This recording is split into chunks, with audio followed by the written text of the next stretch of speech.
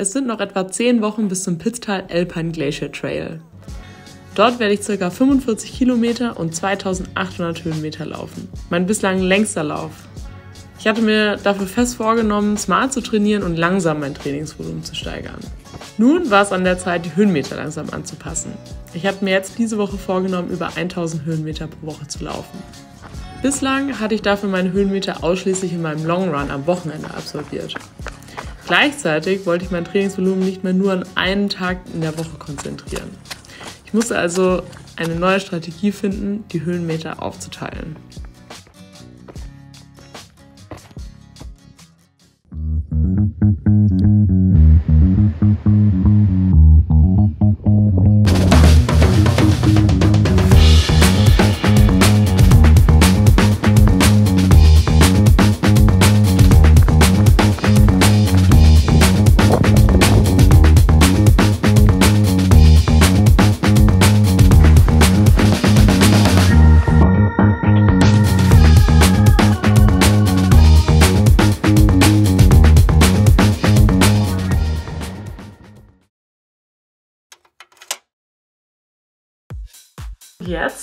Möchte ich mal ein bisschen mehr Höhenmeter auch unter der Woche sammeln, nicht nur am Long Run am Wochenende. Und dafür mache ich Bergsprints heute, wahrscheinlich vier oder fünf mal fünf Minuten. Habe ich mir schon einen Berg rausgesucht und jetzt gibt es aber erstmal was zu essen.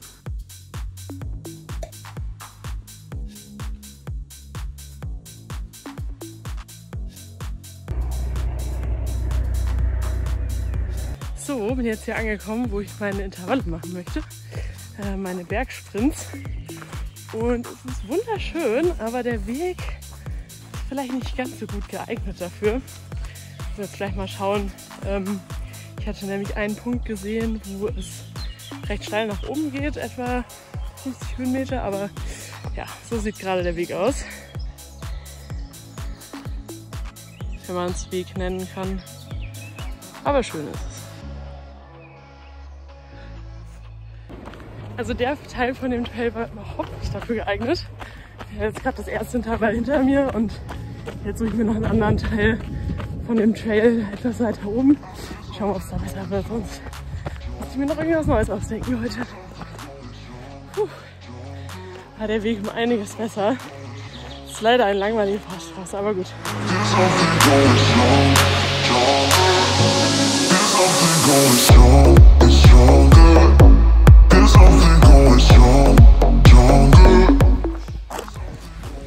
So, ich weiß jetzt schon gar nicht mehr, wie viel Intervall es war, aber ich habe mal nachgeschaut auf die Höhenmeter. Und ich habe schon 215 gemacht und ich wollte so 250 machen. Deswegen mache ich jetzt noch eine Runde, weil ich echt keinen Bock mehr habe.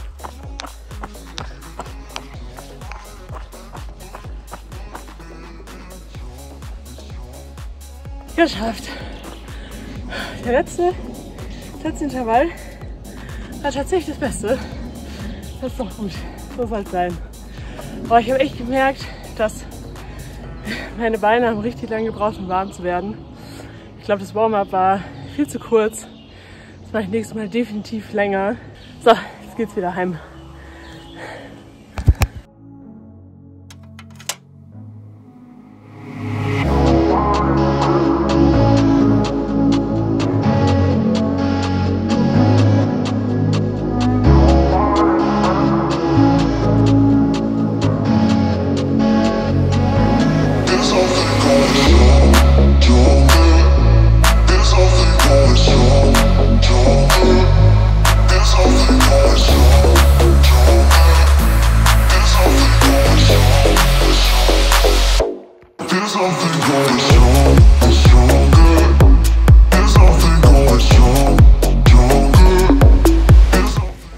Schlechter Ausblick hier.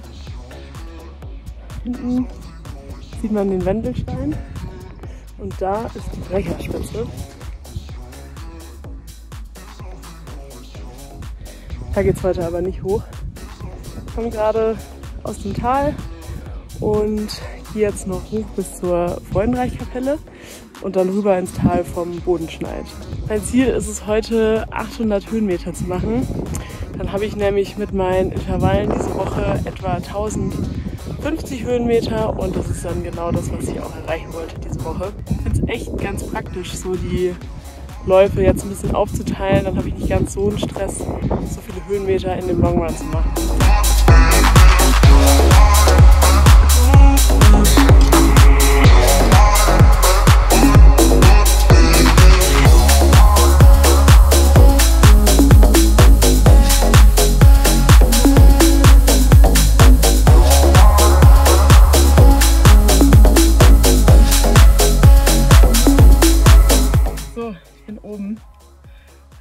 Wunderschön. Super ruhig, ist echt kein Mensch weit und breit. Und vielleicht noch zwei, drei Gruppen Wandern begegnet. Ja nicht. Ich versuche eigentlich immer antizyklisch zu gehen zu den Wandergruppen am Wochenende.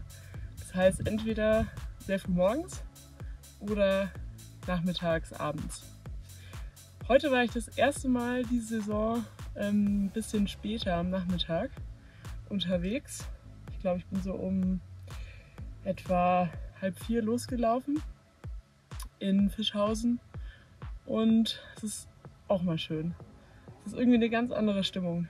Ähm, fast so ein bisschen Sonnenuntergangs-Vibes, auch wenn die Sonne noch nicht untergeht, zum Glück. Und es ist wirklich ruhig.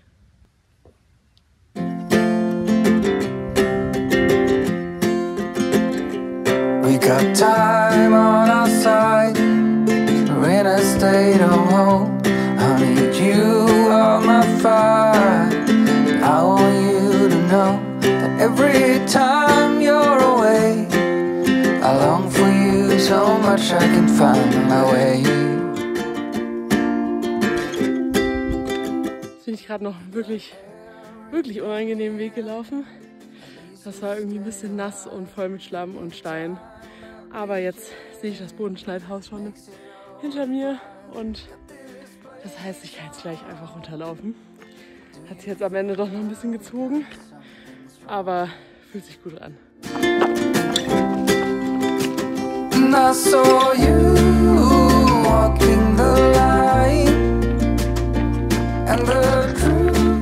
So, jetzt bin ich fast unten, noch etwa vier Kilometer.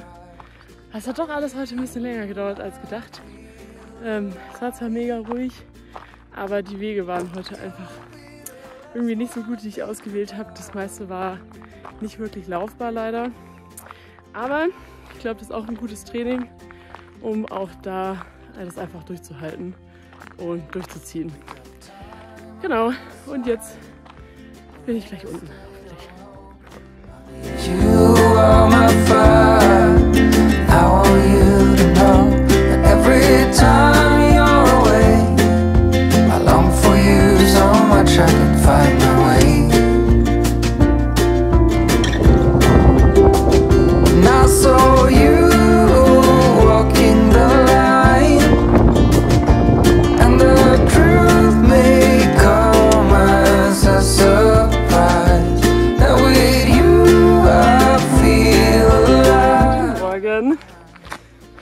und sind unterwegs auf den hohen Siegspitz. Siegspitz, genau.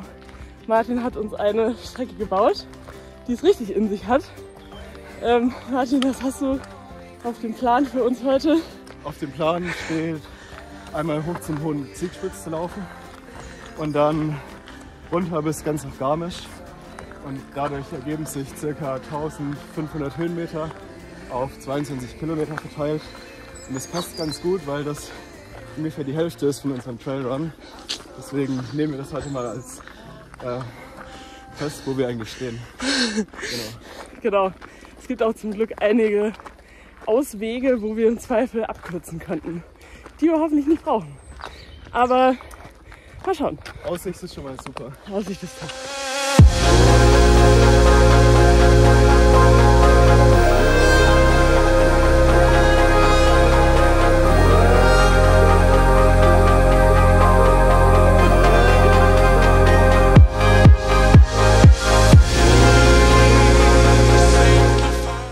Geht es den letzten Anstieg hoch zu unserem ersten Gipfel. Und es ist schon zäh, aber fast haben wir es geschafft. Und dann sollte es eine sehr schöne Aussicht geben.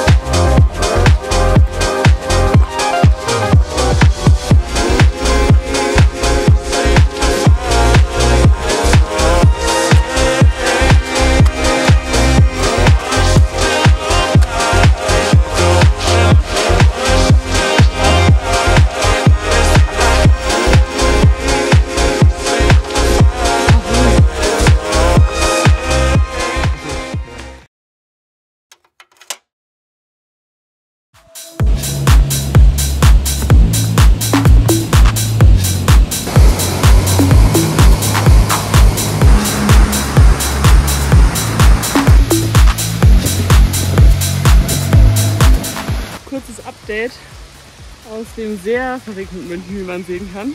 Sieht so verrückt aus überall. Die Isar sieht aus wie ein Dschungelfluss. Isar Trails sind komplett überflutet. Das macht echt gar keinen Spaß.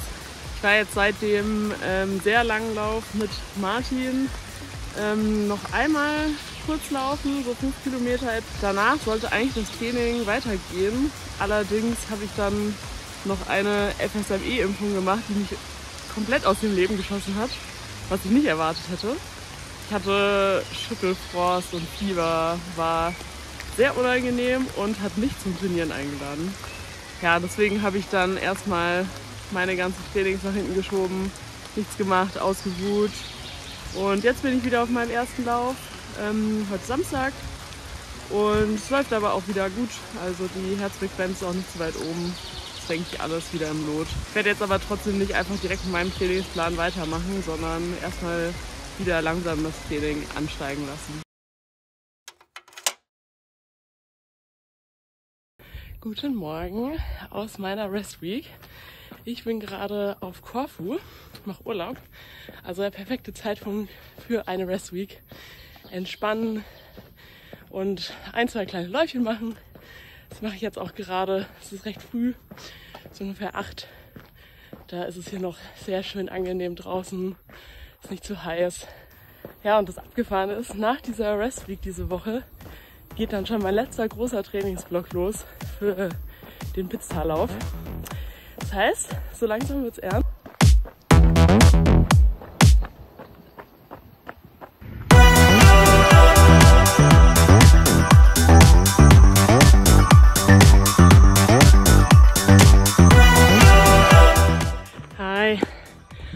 Es ist Dienstagabend, so circa halb acht. Ich wollte eigentlich ein bisschen früher losgehen, aber die Regionalbahn, die ich gerade Richtung Schleswig genommen habe, ist genau eine Station vorher stecken geblieben. Und war irgendwie 20 bis 30 Minuten, stand sie einfach nur rum. Aber dann ging es immer weiter. Und jetzt sind wir da. Endlich. Und es kann losgehen. Und mir ist so warm. Es war so verdammt warm in dieser Regionalbahn. Ah, jetzt ist schon wieder ein bisschen besser. Leichter Wind. Ich sehe gerade hier die Sonne schon leicht untergehen. Ja, jetzt geht's los.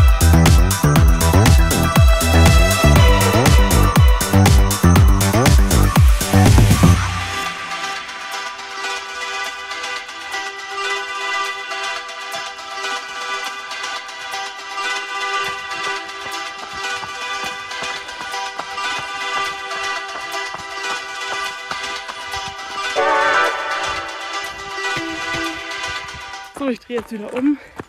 Ich wollte eigentlich 600 Höhenmeter machen, habe jetzt aber nur 500 gemacht. Aber mir rennt ein bisschen die Zeit davon, um noch meine Bahn zu erwischen. Und ich will die auf gar keinen Fall verpassen. Deswegen geht es jetzt wieder runter. Aber es ist so schön, richtig gut ein bisschen den Sonnenuntergang mitzukriegen in den Bergen. Es ist so richtig so ein Sommergefühl für mich. Spät am Abend noch laufen zu gehen, in den Bergen mit Sonnenuntergang. Das ist das ultimative Sommergefühl.